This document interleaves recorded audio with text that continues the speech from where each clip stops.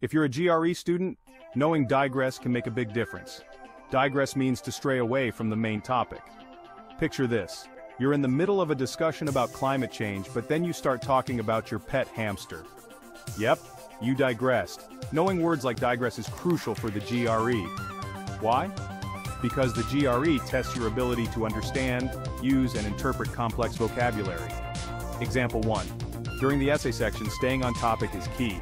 If you digress, you might lose points. Example 2.